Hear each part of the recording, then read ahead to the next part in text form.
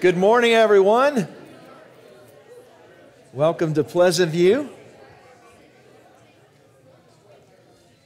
Thank you for being here today as we come together and worship the Lord. Just a few announcements before we get started.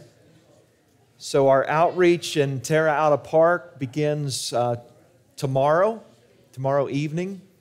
Um, and uh, just a few things that just want to communicate to you. First of all, we need grapes.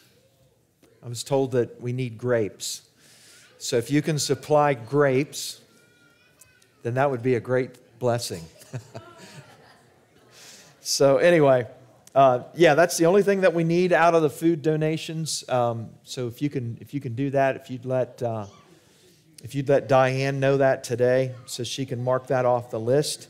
I think we have enough uh, helpers in the kitchen, and we have, uh, I think, everything else that we need. So we're going to be we're going to be setting up over there tomorrow morning, at some point, probably 10, 11 o'clock tomorrow morning. We'll get, we'll get things set up. We're going to try to meet outdoors this year, but we're going to be set up for the inside just in case the weather doesn't permit. So uh, we, might, we might try to meet out under the biggest pavilion there um, and, and do the, the teaching segments out there. So please be praying um, for the folks there in the park that, that'll come and um, we had a great, God gave us a great day there on Tuesday. We were able to do some ministry over there on the 4th of July, and that was good and connecting with people. And so I'm not sure how many people are, are going to show up tomorrow evening or throughout the week, but uh, if you'd be praying about that and that the gospel would be very, very clear and that people would hear it and God would open their hearts and their, their ears to hear it and believe it and trust in Him. So that's, um, that's that announcement. So again, be praying about that this week. And uh, Pastor Mark and a group of our people are going to be at a youth camp this week. So be praying for the students that they're going to be ministering to as well. That's going to be over around Meyersdale, Pennsylvania, at a camp called Camp Peniel over there. And I think, what, 50 couple young people, students are going to be there. So uh, got some ministry going on this week. So thank the Lord for that. I'm going to roll the announcement track, but I'm going to pray first. I'm going to do the track, and then Pastor Mark will stand and uh, do our call to worship. Uh, so, so let me pray for us, um, for the ministry that we have going on this week, and ask the Lord to control the weather, which He does. He will. Um, so let's pray and, and just trust Him. Father, we come before you this morning, and we thank you again for a, a day that you've given us the saints of God, to come together to worship you. Lord, we want to worship you today in spirit and in truth. So we pray that you would take this time that you've given us and that through your word, the ministry of your word, and by the power of your spirit, that you would make your word come to life in us, that we would desire to obey it, and in fact would obey the scriptures. Father, we pray for the ministry we have going on this week that you would use us as your instruments. Lord, there are a lot of people in this world and people around us that need to hear the gospel, that need to believe the gospel. There are sheep that you have that haven't yet heard your voice. And Father, we pray that they would hear your voice and that you would draw them to yourself, and save their souls, and change their lives. Transform them by the gospel, by the work that they can't do on their own, a work that's already been done through your Son, the Lord Jesus Christ. We pray for that at in Terra Alta this week, and we pray for that at youth camp this week. We pray that you would use that message in each of our lives to, to proclaim that to others around us, that they would hear and be transformed by the gospel, changed by the gospel. Father, just take control of us now. Take control of every person in this room. Lord, help us to be attentive to your word. Help us to worship you right now in spirit and in truth. Lord, as we sing and as we agree in prayer and as we listen to your word and as, as you use your word in our hearts to give us the desire to obey it and then to actually the power to obey it. Work in us today. Use this time for our good and your glory, we ask in Jesus' name. Amen. Let's roll the announcements, and then Pastor Mark will come.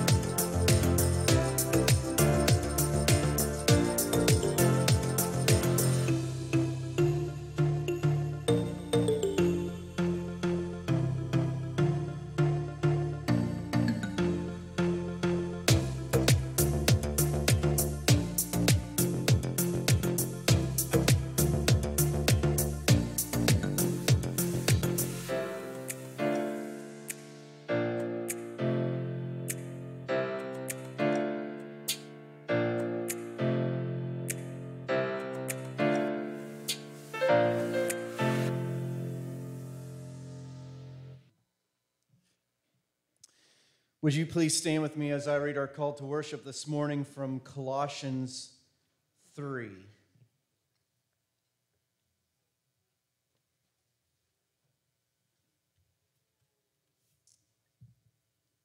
Hear this. Put on then, as God's chosen ones, holy and beloved, compassionate hearts, kindness, humility, meekness, and patience bearing with one another, and if one has a complaint against another, forgiving each other. As the Lord has forgiven you, so you almost also must forgive. And above all these, put on love, which binds everything together in perfect harmony. And let the peace of Christ rule in your hearts, to which indeed you were called in one body and be thankful. With all this ministry, one thing we do know, um, and sometimes we falter in this, as I was admitting earlier, uh, we falter in this, but um, one thing that we are promised is our God will go before us. So, would you remain standing and let us sing this as our hymn of the month? Our God will go before us.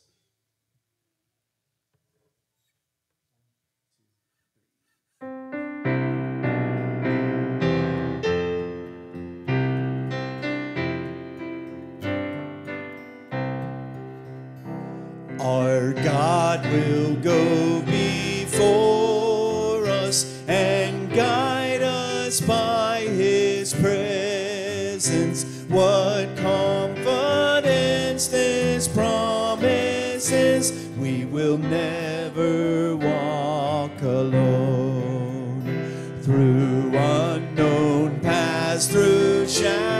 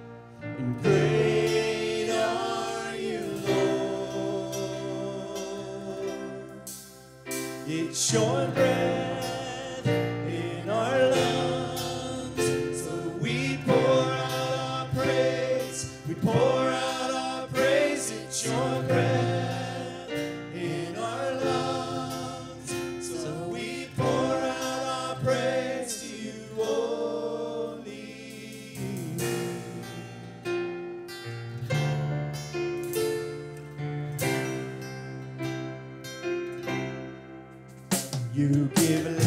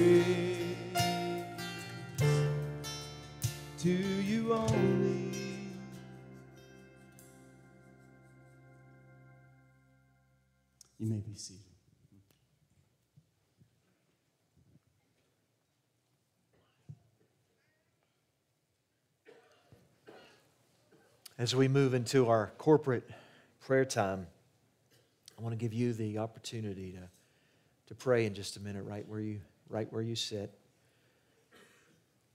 A few years back, I heard a man teach on praying, a pastor, and he used, he used this term um, scripture fed, spirit led praying.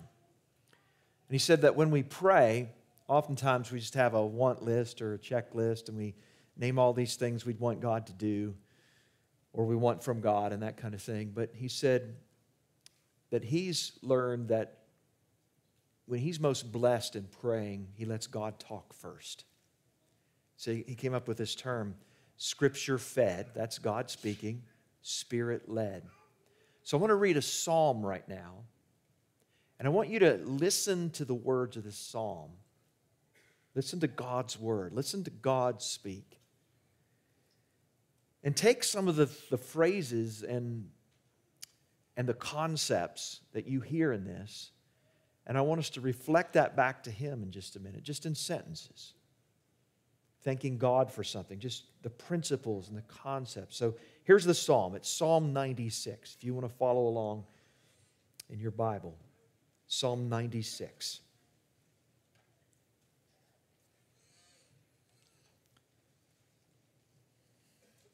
And it says, Oh, sing to the Lord a new song.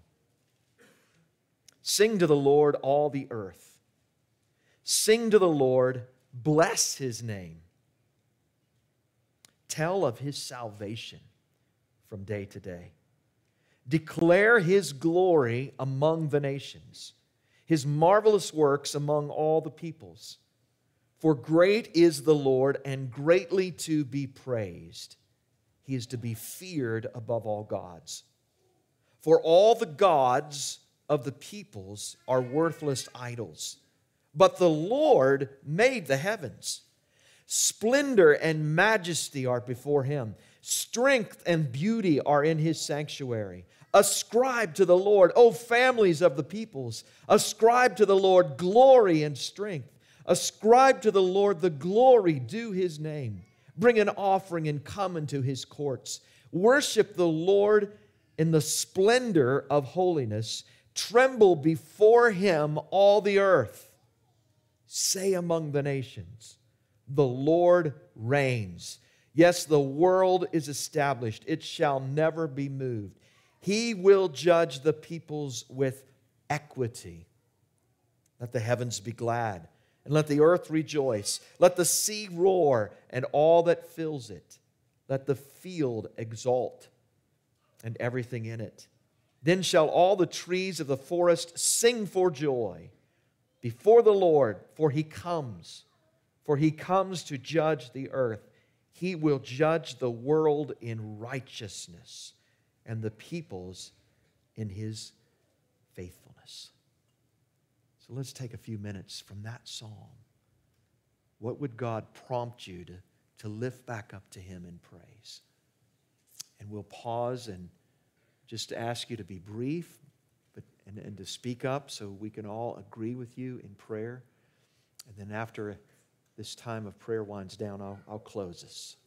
So, Father, would you please now impress our hearts with how great you are? And Lord, help us. It's, it's, it's your air in our lungs.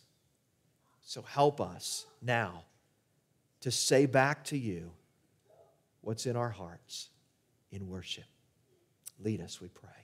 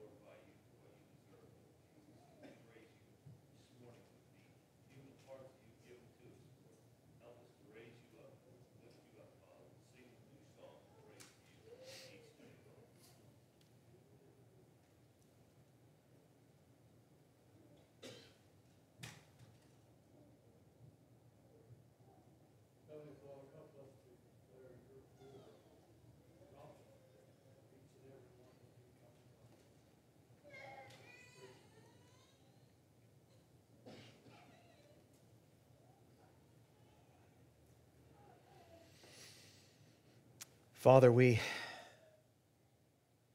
could be here all day and even for several days, years, if we would really be able to recall your greatness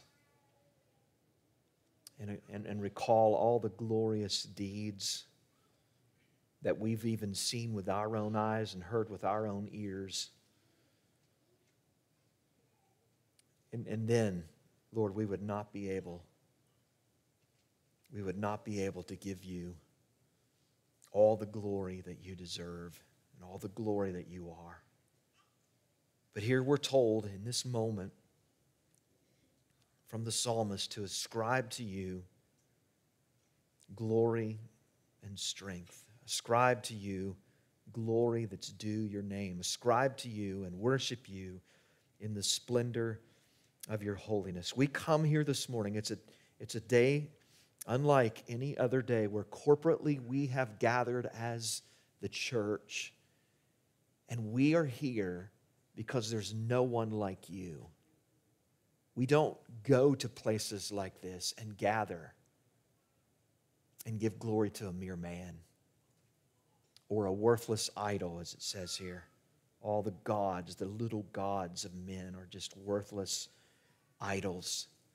We come here to worship a God who is sovereign, who is eternal, who is omnipotent, all powerful, omniscient. He knows everything.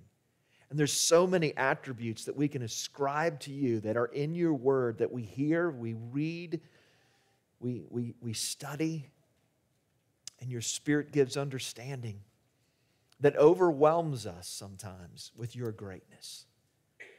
Oh Lord, we're thankful today that we pray to a God who listens. We pray to a God who is all powerful, not restrained by anything else. So that out of your sovereign providence, you act and you work in ways that, Lord, we can't even begin to understand. Your ways, your thoughts are not like our ways and our thoughts. And that's why we're here. Blow us away, Lord, by the truth of Scripture this morning and who you are and how you've made a way for us to know you through your Son, Jesus Christ. Oh Lord, open our hearts that we might hear your word. Help us to truly worship you in spirit and in truth today, we ask. We can't do it apart from you. We can't worship you apart from you.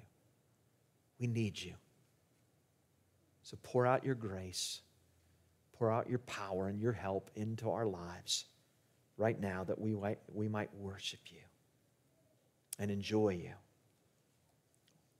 We ask these things through your Son, Jesus Christ, for his glory and our good. Amen.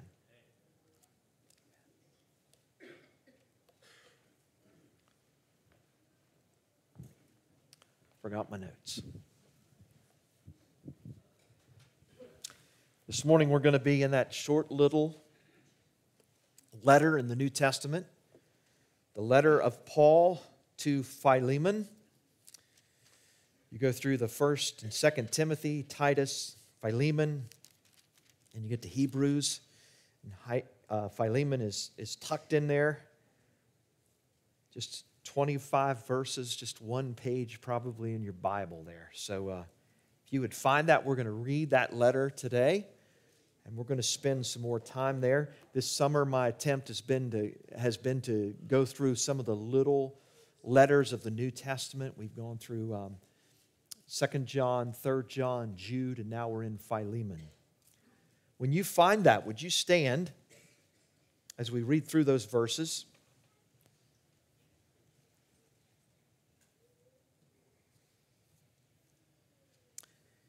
Paul identifies himself as the author in verse 1. Paul, a prisoner for Christ Jesus, and Timothy, our brother. To Philemon, our beloved fellow worker, and Apphia, our sister and Archippus, our fellow soldier, and the church in your house. Grace to you and peace from God our Father and the Lord Jesus Christ. I thank my God always when I remember you in my prayers, because I hear of your love and of the faith that you have toward the Lord Jesus and for all the saints. And I pray that the sharings of your faith may become effective for the full knowledge of every good thing that is in us for the sake of Christ. For I have derived much joy and comfort from your love, my brother, because the hearts of the saints have been refreshed through you. Accordingly, though I am bold enough in Christ to command you to do what is required, yet for love's sake, I prefer to appeal to you. I, Paul, an old man, and now a prisoner also for Christ Jesus.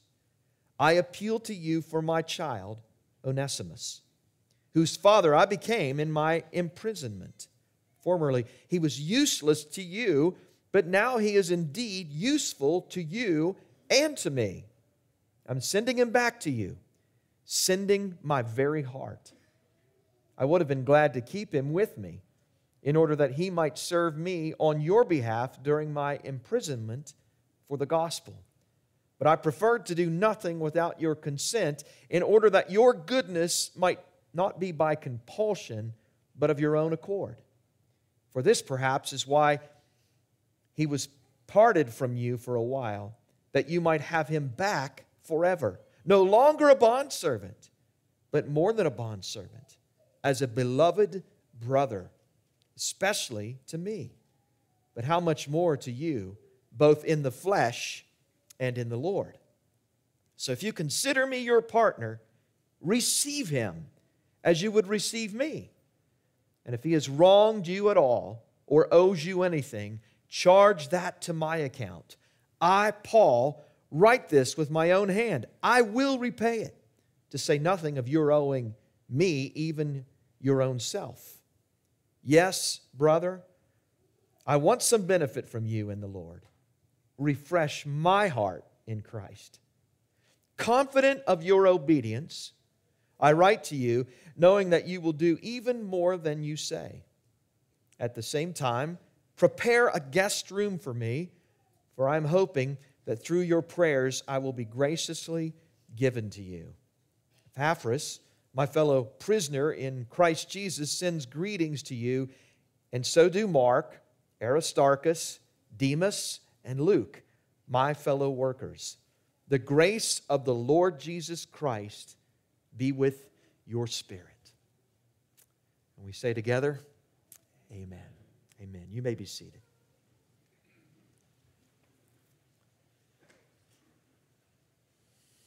So last week we spent some time, I did some background. I'm not going to overlap that much. If you missed last week's sermon, you can go back and, and catch that on our, on our uh, web page there.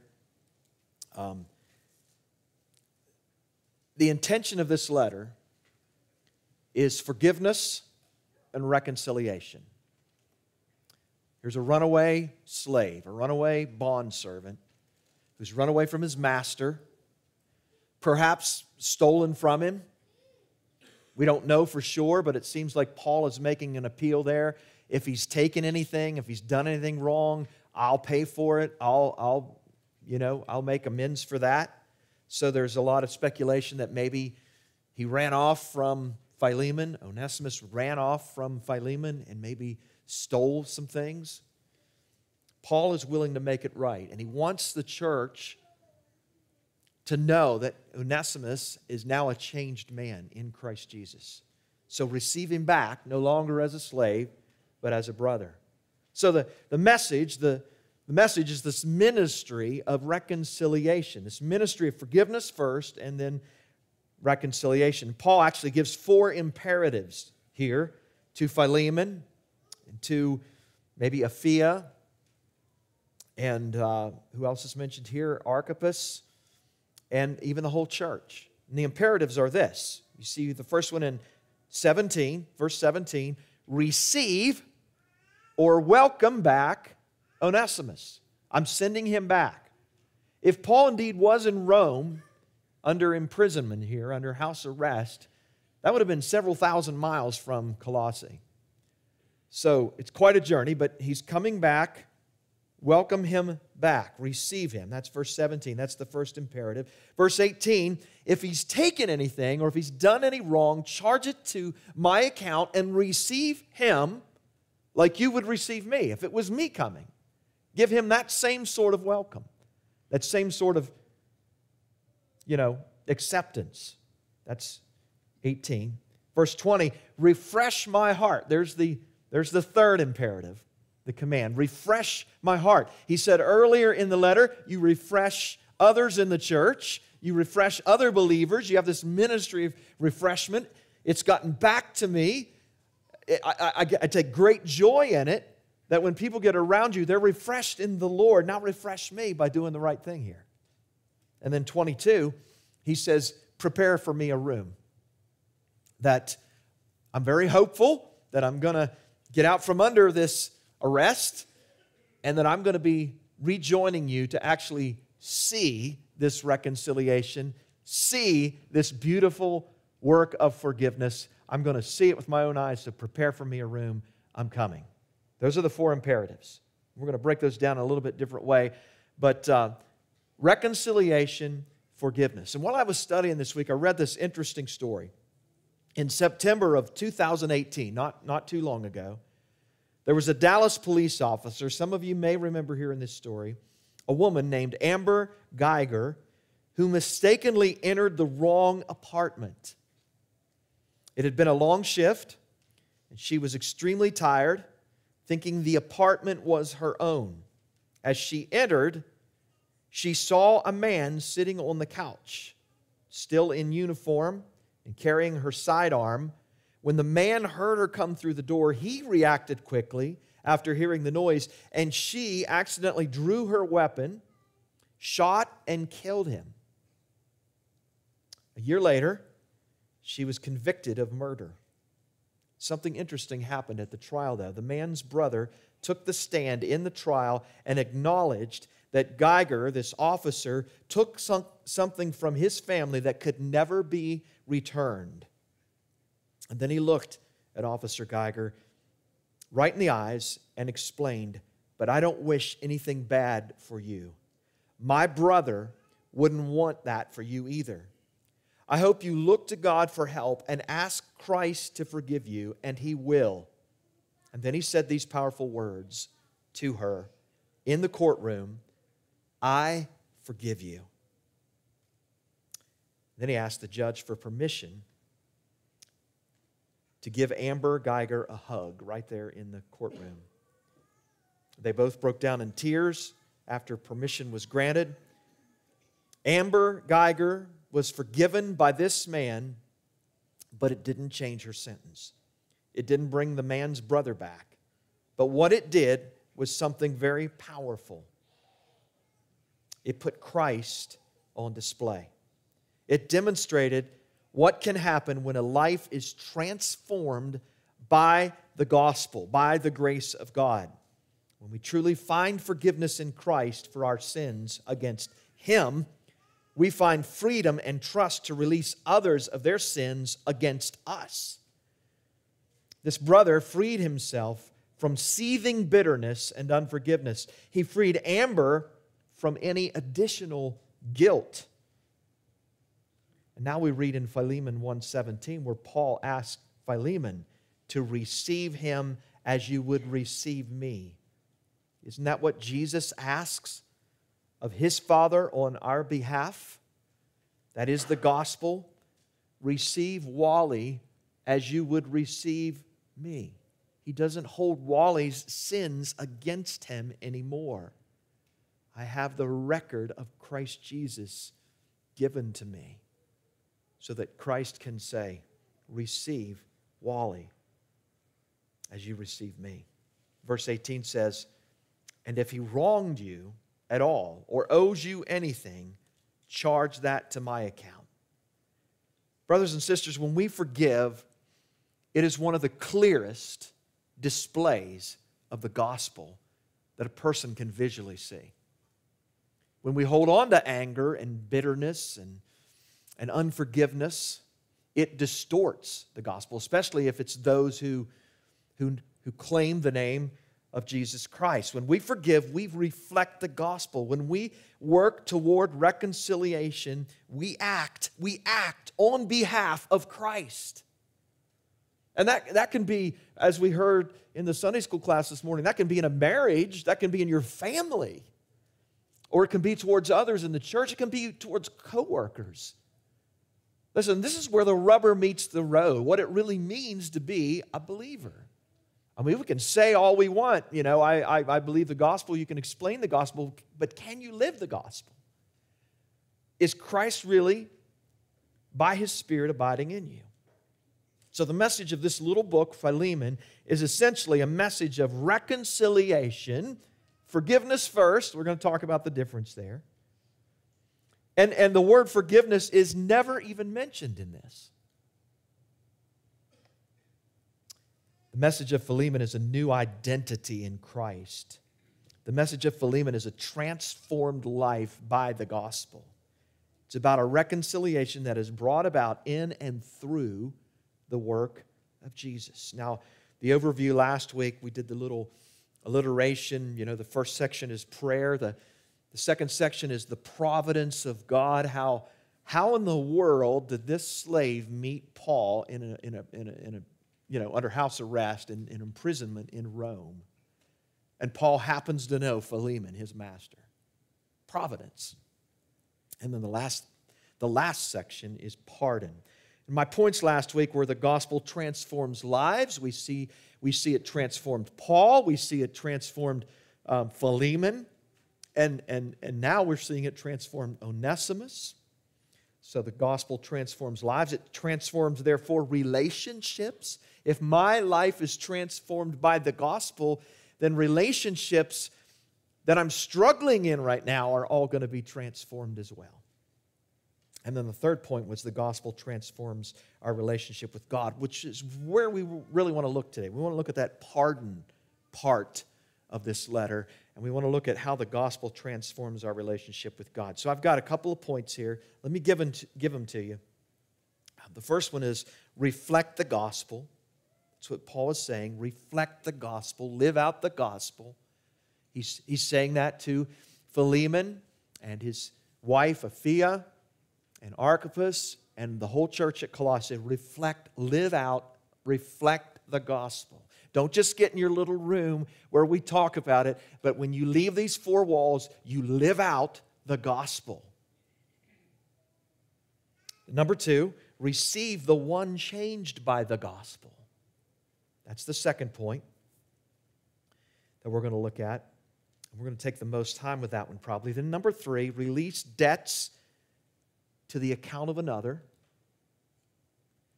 Paul stood. He was such, had, a, had such a heart for reconciliation. He said, Charge it to me. I'll take care of it. Don't hold it against this man. I will, I will take care of anything that he's troubled you with. Number four, refresh my heart. And number five, ready my hope. There's another alliteration there. They're all R words. When I do that, it helps me. So that's why I do it. I don't know if it's very helpful to you or not, but it helps me to remember. Like, what was that other R word that I was supposed to remember? Um, so let's go back to the first one here. And, and again, we, we covered a lot of this last week. Paul's appeal to Philemon here is to reflect the gospel. Let the church there in Colossae be a witness, a testimony of what it looks like to forgive, how Christ has forgiven you. Be a living example of the gospel work of Christ, is what he's saying. Receive this slave, Onesimus, back because Christ has changed him. You're getting back a new man. You're getting back a new person in Christ. That's what the gospel does, by the way, which we have seemed to forget in our culture. Again, we, we, we limit it to some repeating after me prayer or, or something like that. But no, no, no, no. Listen, the gospel transforms lives. That's what it does, it changes lives. It, it, it, gives you a whole new way of thinking. You don't think like the culture. And, and that's a process, but that's what it does. So, this Onesimus, left a rebellious runaway slave. Now he's returning, Paul says, as a beloved brother. You're getting back a new man. So that's the first point. Reflect the gospel, Philemon. Reflect the gospel, Apphia. Reflect the gospel, Archippus. Reflect the gospel, church at Colossae. Do you see how he, he starts with the most personal one involved, but it, how it affects the whole church? Like, like your bitterness towards somebody in this church you think is just some private matter, but it's affecting the whole church. Paul writes this letter to Philemon first, but he's going down to the whole church so that they can hold Philemon accountable in this. The effort of forgiveness and pursuit of reconciliation is a vivid, powerful display of gospel power. And by the way, it's our ministry. If you were to read 2 Corinthians 5 14 through 21, I think we're going to have that on the screen up here. But this is, this is what Jesus Christ calls you to when you get saved a ministry of reconciliation. Bringing other people to, to the gospel, but also just modeling the gospel in our relationships. Look at 2 Corinthians 5 14 through 21. For the love of Christ controls us, talking to believers here, because we have concluded this that one has died for all, therefore we all have died. And he died for all, that those who live might no longer live for themselves, but for him who for the sake, for their sake, died and was raised. Wow. Wow. I want to commentate so bad, but we're going to move on because I need to get through this. From now on, therefore, we regard no one according to the flesh. Even though we once regarded Christ according to the flesh, we regard him thus no longer. Look at this next phrase. Therefore, if anyone is in Christ, we quote this verse, don't we? But we don't read the ones around it. Therefore, if anyone is in Christ, he's transformed, he's a new creation. It's not just some mental assent that's happened here, he's a new creation. The old has passed away. Behold, the new has come. And all this, all this transformation is from God. We don't do it ourselves, who through Christ reconciled us to himself and gave us the ministry of reconciliation. Your whole life as a believer is to try to, to take lost people and reconcile them with the Holy God through the preaching of the gospel. That's what he's saying first. But it also, I think, includes here reconciling people to people who claim to have the gospel because it's, it's, it's really an oxymoron. if you say you have the gospel and you're not willing, you're not trying, you're not laboring, you're not believing and trusting for the power of reconciliation in your life here. Christ reconciled us to himself and gave us the ministry of reconciliation. That is, in Christ, God was reconciling the world to himself, not counting their trespasses against them, and entrusting to us the message of reconciliation. Therefore, we are ambassadors for Christ. God making his appeal through us. You're an agent of reconciliation. You, you, you promote forgiveness. We implore you on behalf of Christ be reconciled to God. For our sake, He made Him to be sin who knew no sin, so that in Him we might become the righteousness of God.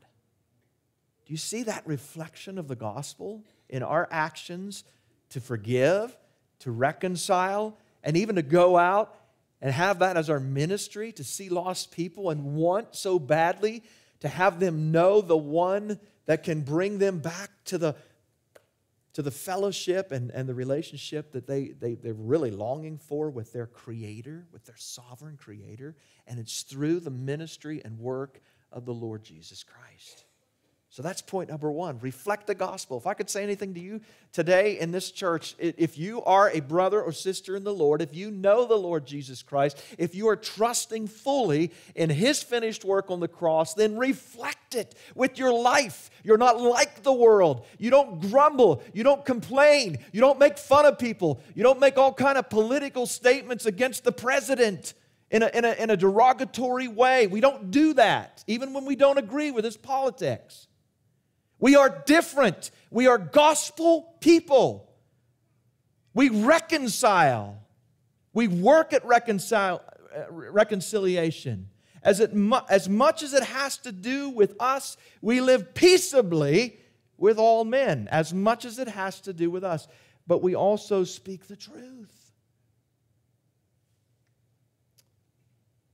Reflect the gospel. The second thing here is receive the one changed by the gospel. Get that from verse 17. So if you consider me your partner, I mean, Paul's landed on the line. If you like me, if I'm your buddy, if I'm your friend, if you consider me your partner, then receive this slave just like you would if Paul was coming. If Paul's coming back to Colossae to visit that church, I want you to give him the same reception, this slave, Onesimus, as you would me. And listen, if he's wronged you at all, I don't know what that means. A lot of commentators think that it means he took something from Philemon. He stole from him. If, he, if, he, if he's stolen from you, whatever he's done, if he owes you anything, Paul is so, he's so excited about displaying forgiveness and reconciliation as part of displaying the gospel that he says, I will take care of it. The main point of the letter, again, is Paul asking Philemon to forgive Onesimus. And the word forgiveness isn't here in the letter, but the word receive is, or the word welcome is. And what he's saying by saying receive or welcome, whatever is between you two, let it go.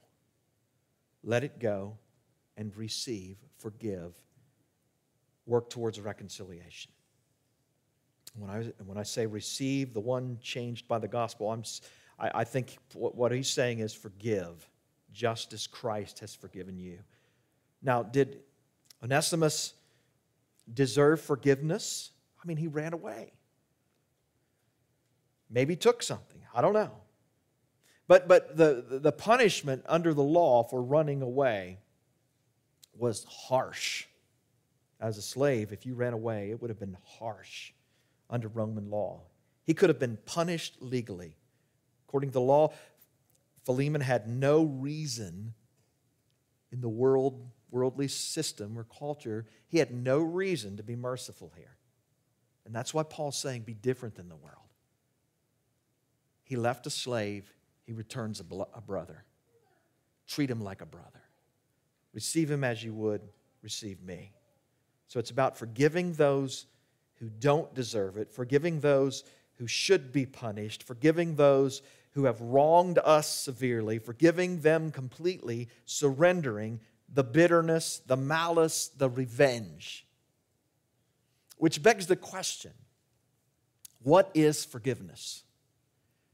And again, we've been through this in a, in a Sunday school class, so we got a lot of great biblical instruction and help to put it, put, put everything around it, but everyone wasn't there, so let me fill you in on some of the things. Forgiveness. Let me, let me identify maybe first what forgiveness isn't, because some of you are so hesitant, somehow, you know, somebody's not going to get theirs, and they hurt me, and they wounded me. So, what forgiveness isn't?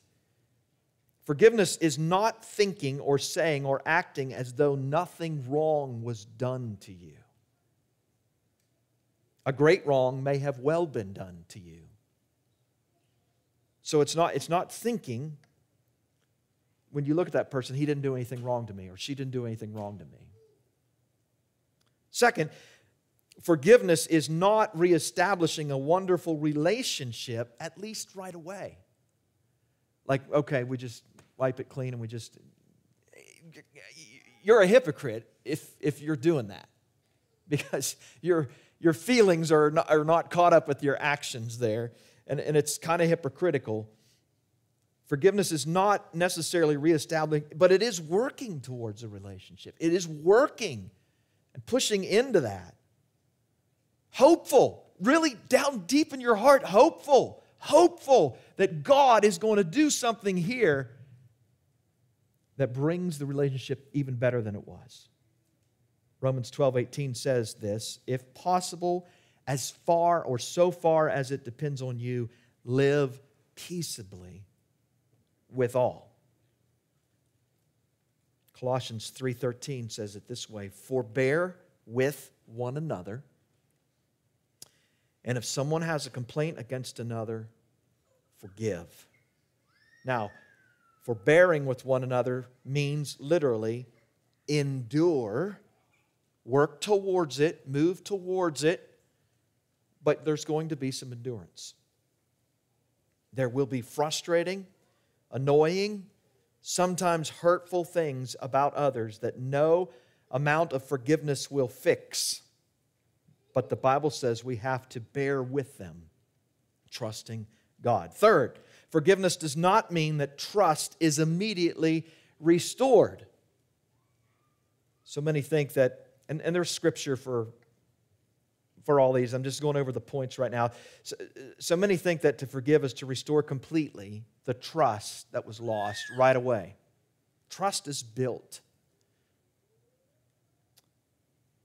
To give trust to someone who has betrayed you assumes that that person has changed and does not have that same untrustworthy pattern in, in their life.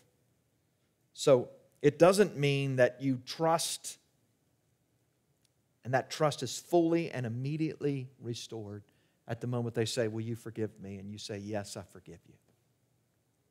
Fourth, forgiveness can be real and freeing for you even if the other person does not accept your plea for forgiveness or want it. You want to forgive, and they don't think they've wronged you, in other words. So they're, they're just, no, I don't, I didn't do anything wrong, so get over it. Can you imagine that? Like you humble yourself and you go to somebody and you say, you, you, you hurt me, you wounded me, but I forgive you. And, and they look at you and say, I didn't do anything wrong, so get over it. So I'm glad. I'm glad that sometimes I keep working towards it even though it's not reciprocated. And, and that's really the difference between forgiveness and reconciliation. When the other person is, is willing, when both parties are willing to come before each other and forgive one another, then reconciliation can take place. You might say, well, why does forgiveness matter? Again, forgiveness is a clear reflection of the gospel. Forgiven people forgive. Jesus said that if we don't forgive, we won't be forgiven. Matthew 6, 14 and 15. If you forgive others their trespasses, your heavenly Father will also forgive you. But if you do not forgive others their trespasses, neither will your heavenly Father forgive your trespass. What's that saying? It's saying that when we really grasp the forgiveness that God has given us, then what could be worse somebody doing something to you than you have been towards God. And that's the point. That's really the point. We don't think that we've done any injustice to God. We don't think that we've done anything wrong towards a holy God that deserves our praise and our adoration and, and our thoughts and, and to live every minute of our life under the understanding that He is my sovereign creator King, Lord. He's eternal. He's omnipotent. He's, he's all these things. And, I, and, and, and a lot of people just don't think they've done anything bad towards Him.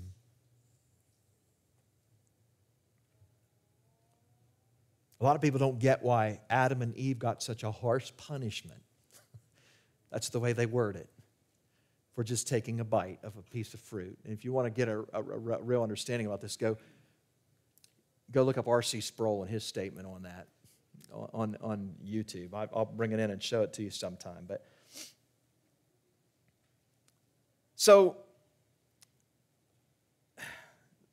It's a, it's a clear reflection of the gospel. Forgiveness is wanting the good, not the ruin of the one who wronged you in spite of the wrong, and then acting for their good. And if your heart's not there, then ask the Lord to change your heart. Do you want good for someone that's wronged you? Do you want them to change? Do you want them to experience Jesus? Or it's like, I don't care if they ever experience Jesus. In other words, you won't let their sin make you sin. You'll lay it down and pray for their good, and you'll work for it, and you'll ask God to change your heart. You won't bring it up. Once you forgive someone, you don't bring it up again in order to keep holding it against them. Now, it may come up in a discussion as you work through things, but you don't keep holding their sin against them. That's not forgiveness. You let God deal with them. So, forgiveness is this clear reflection of the gospel. And you say, well, why is that important? Because in a relationship with God, forgiveness goes both ways. God gives forgiveness and we receive it, then, therefore we forgive and others receive it. Luke 6:32 says this, if you love those who love you back, what benefit is that to you? For even sinners love those who love them. And if you do good to those who do good to you, what benefit is that to you? For even sinners do the same. This is Jesus, by the way, speaking in Luke 6. And if you lend to those from whom you expect to receive, what credit is that to you? Even sinners lend to sinners to get back the same amount or more.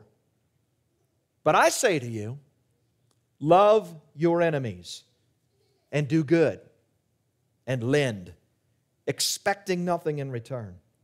And your reward will be great, and you will be sons of the Most High. For he is kind to the ungrateful and the evil. Be merciful, even as your Father is merciful.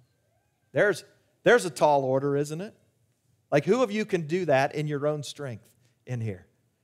Who does not need to get on their knees and cry out to God for this kind of attitude, this kind of thinking?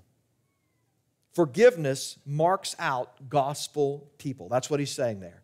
If you understand who I am, if you are following me, if you're a gospel person, if you're changed by the gospel, then this kind of behavior will mark, you're going to stand out pretty quick in the culture that we live in. Secondly, forgiveness keeps in perspective that we were greater enemies of God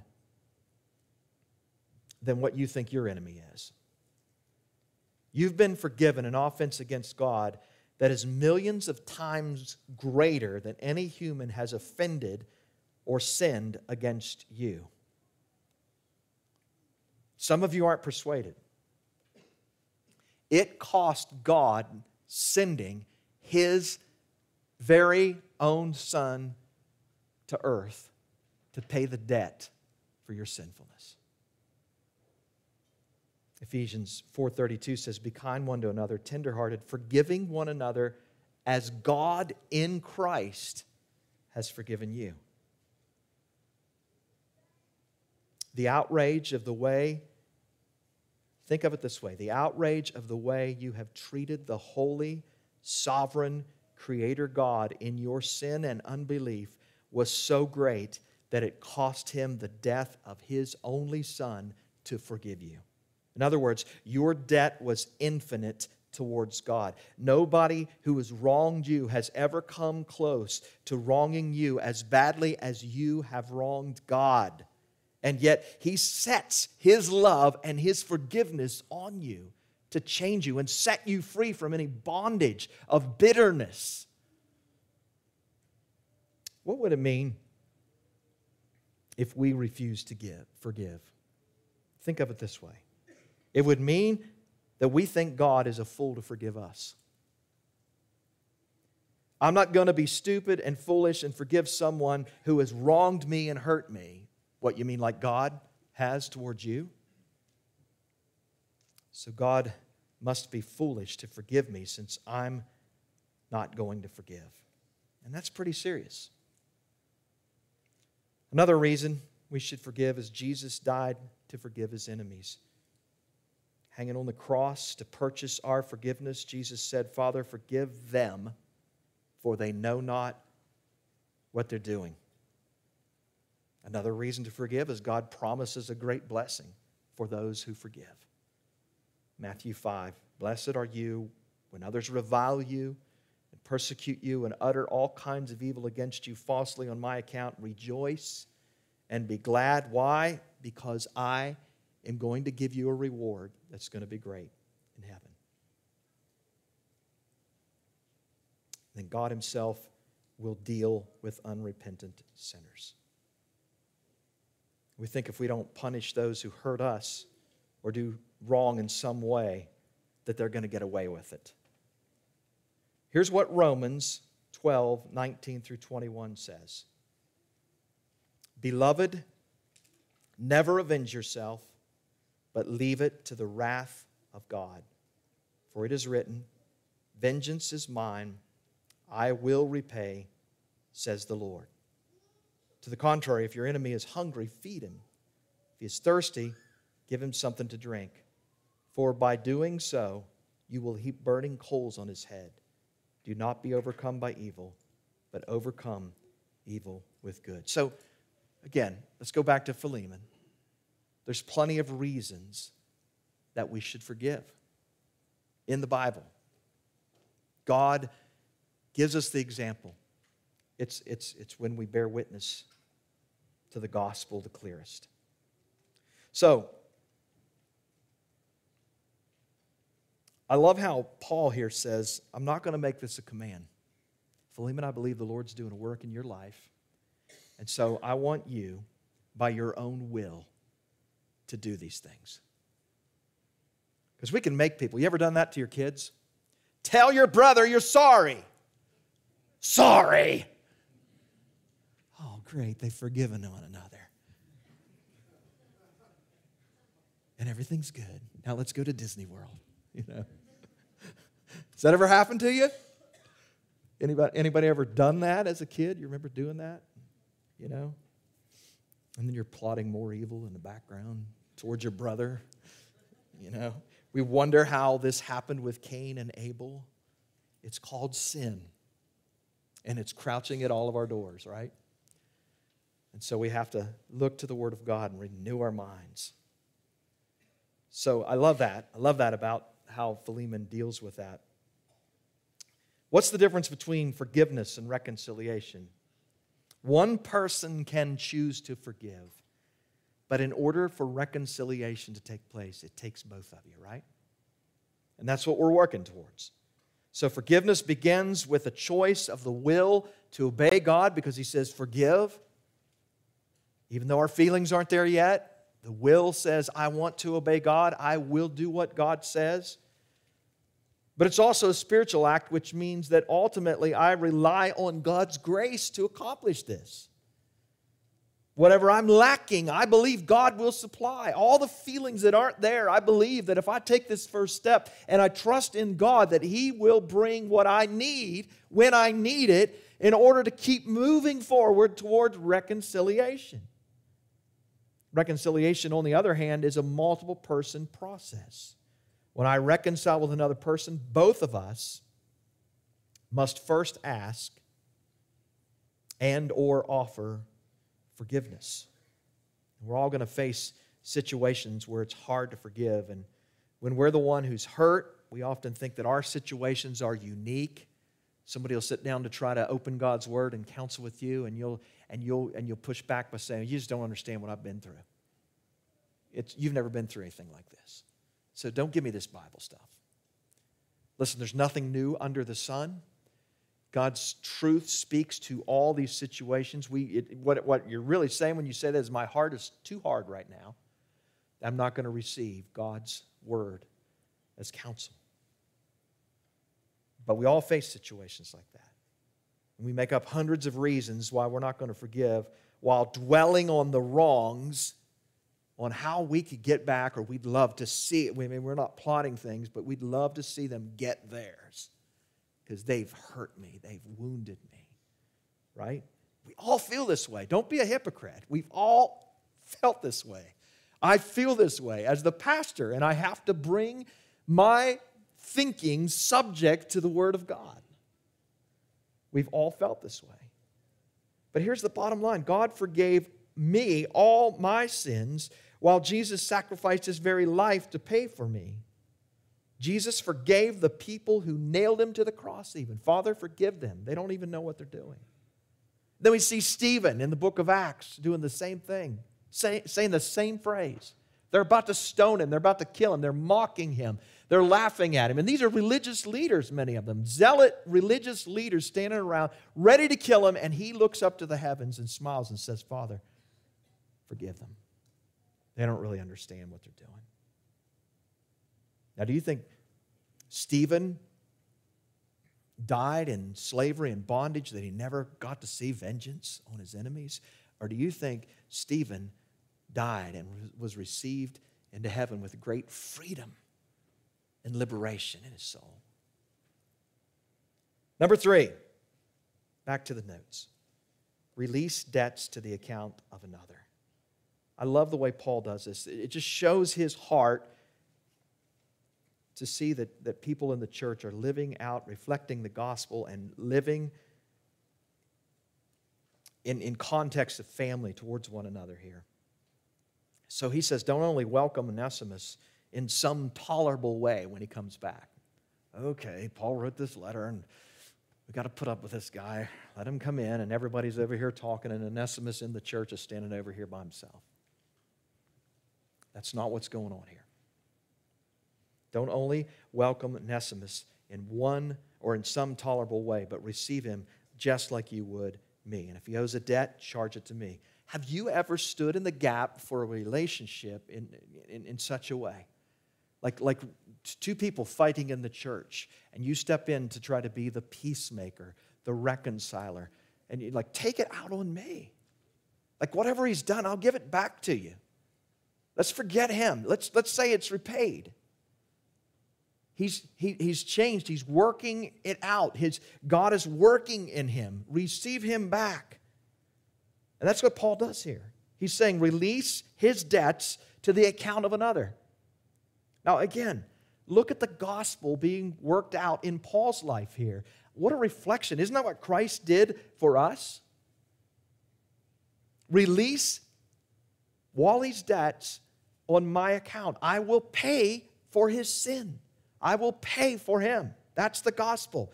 He's reflecting Christ. It's a beautiful picture of the gospel. It's the ministry of reconciliation. It's exactly what Jesus says when he sends the sinner, as it were, back to his father. He says, Father, charge all of their indebtedness to my account. Charge it all to me. Back to 2 Corinthians 5. All this is from God, who through Christ reconciled us to himself and gave us the ministry of reconciliation. That is, Christ God. Uh, Christ in, in Christ, God was reconciling the world to himself, not counting their trespasses against them. And you, and you think, how can this possibly happen? How, how may we stand before God without fear? And how may we look at him perfect as a holy God? And how may he look on us as sinners without any displeasure? The answer Christ. The answer is that this trans- transaction has taken place in Christ because in his death, God's wrath is turned away from us and our sin is canceled and imputed to Christ. Look what he says next here verse 20. So, yes, brother, I want some benefit from you in the Lord. The word benefit, we talked about a little bit last week. The Greek word means joy. So give me some joy.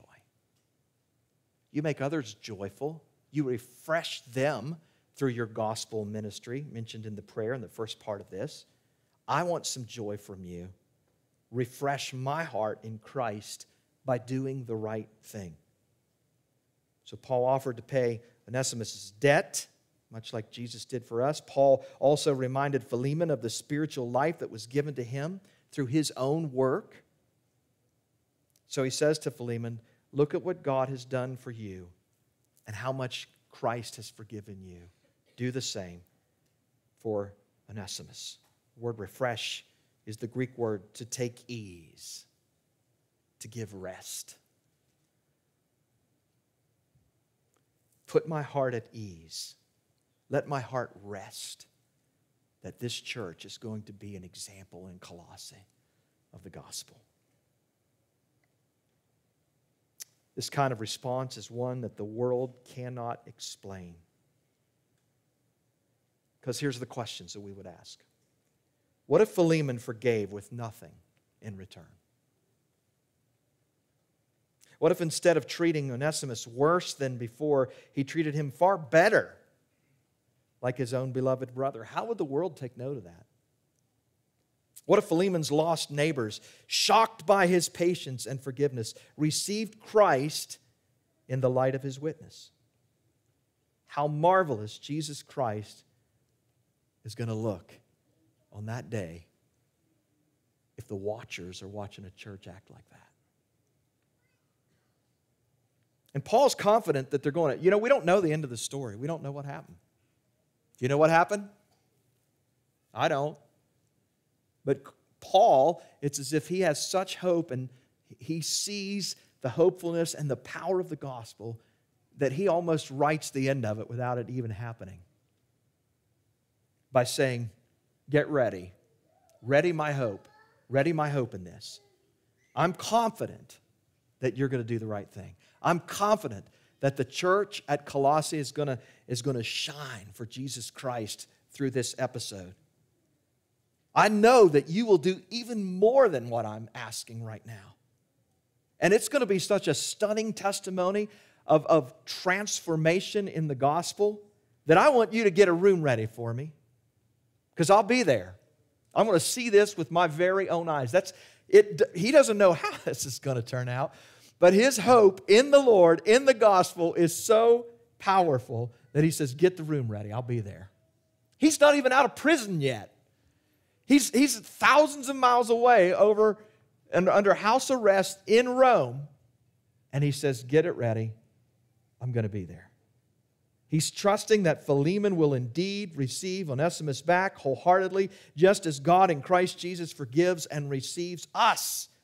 He knows that the same love of God that has transformed him has also transformed Philemon, and it's also transformed now Onesimus. Christ has not only paid the penalty for their sins, but he's also given them the power through his grace and supplied by his Spirit to live out what it looks like to have this transformed life. Paul is so confident of this that he says, in effect, Philemon, ready my hope. I want to be there and see all of this with my own eyes. See changed lives, see reconciliation, see peace, see unity, see mutual servanthood working together for the gospel. And there's also a, there's also maybe a sense in which he's saying, I thought about this. I'm going to come and I'm going to check up on you to see if you followed through with what I'm writing to you about. Nonetheless, it's accountability. He's already confident that Philemon will step up and do what he's asking. So it's also an encouraging note to end on that Paul was no lone ranger here in this. First of all, Timothy is a, it's implied here that he's a co writer in this letter. That at very minimum, he was sitting beside him and, and, and he was reading the letter back to Timothy because Timothy's name is on the front end of it. It's also, it's also very encouraging that he sends greetings from fellow workers in verse 23. He mentions Epaphras. We know Epaphras was the one who preached in Colossae at the very beginning. He mentions Mark. Boy, if that isn't redeeming. You remember him and Mark had a falling out, and they split ways. They couldn't agree on something. We don't even know what it was. And they split ways. But he mentions Mark here. So that's been reconciled. That's been forgiven. That's been worked through. He mentions Aristarchus and Demas and Luke. Here's the point you're not a lone ranger. We work together as a church through these issues, through issues when people have odds against each other. We work together as a church. We don't push it aside. We shouldn't anyway. We do sometimes, but we shouldn't. This is serious stuff. It's about Pleasant View Baptist Church, and when our name goes out there, they don't even hear our name, they, they hear Jesus. They see Jesus. We exemplify Jesus, just like Paul exemplified Jesus.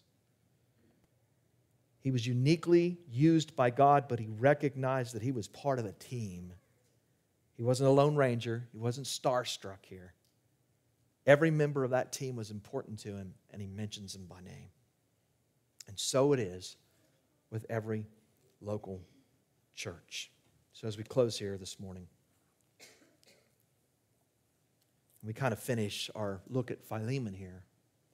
Do you see the gospel through Paul's actions? Do you see how Paul reflects the very things that Christ did on our behalf to save us? Do you see that? Or is this just some letter? We don't know how it got stuck in here. We, you know, why are we reading other people's mail anyway? That kind of thing. Uh, as I said last week, it's a personal letter, but it's not a private letter. It was put in the holy scriptures so that we could read it and learn from it and grow in grace from it. So let me pray for us right now. Father, we, we have through the years been faced with people who have been in disagreement with us, or we have offended. We've had people within our own church offended at one another. It's going to happen. That's why we have letters in the Bible that address these things. Even though we're sanctified people, we're saved people, we're saints, these things are going to happen. The question is not, are they going to happen? It's, will we reflect the gospel when they do? Will we take on the mind of Christ? Who, who didn't consider it robbery to be equal with God. He was God. And yet came in the form of a servant, giving, giving up uh, many of his rights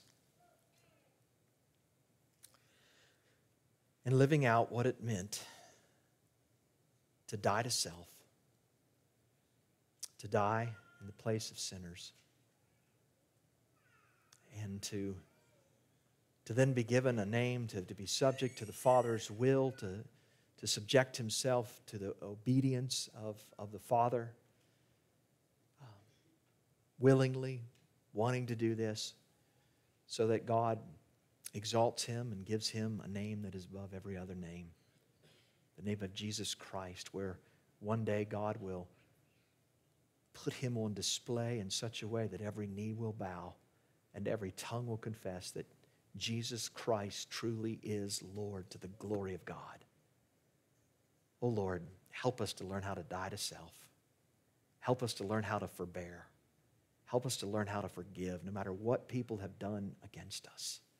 We've read some amazing stories here in these sermons in the last couple of weeks where people who've lost loved ones because of the evil of another and yet turn around and forgive that person and work towards reconciliation. Oh, Father, that's the gospel power that we all need working in us when people offend us. So, Lord, help us. Help this church to exemplify the gospel, what it looks like to forgive, to have this ministry of reconciliation.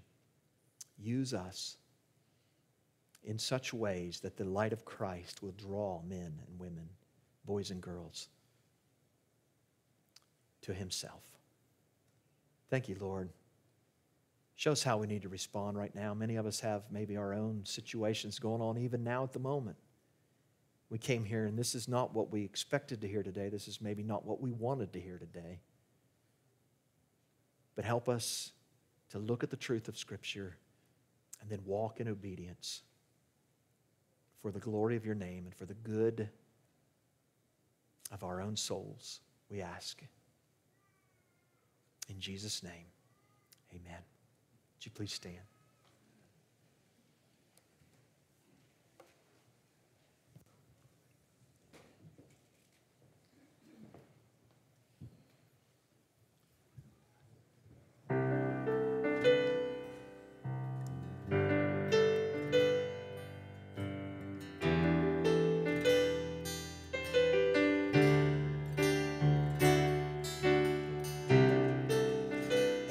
one needs compassion, love that's never failing.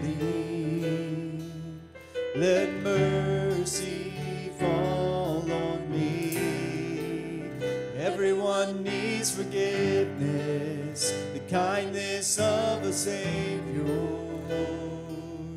the hope.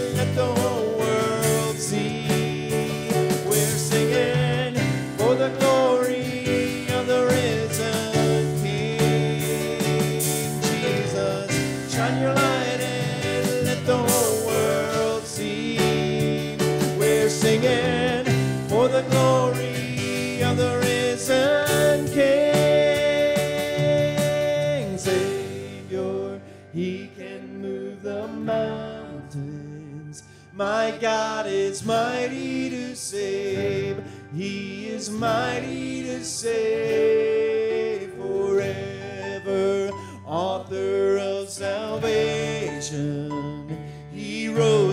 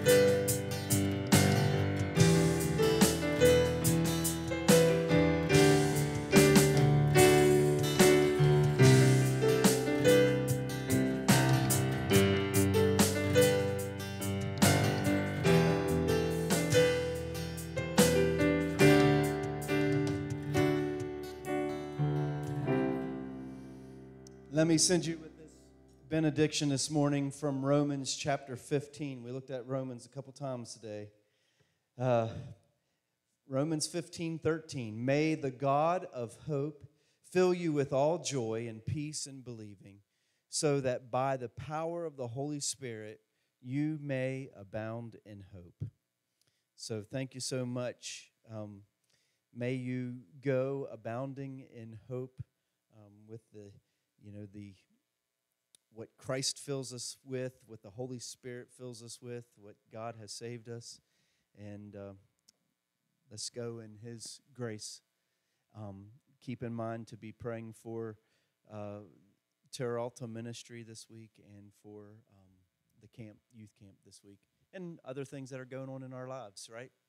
Amen. So reach out to each other as brothers and sisters. Know what's going on in our lives, so no one, no one gets lost. Right? Um, thank you for joining us today. We'll see you next time.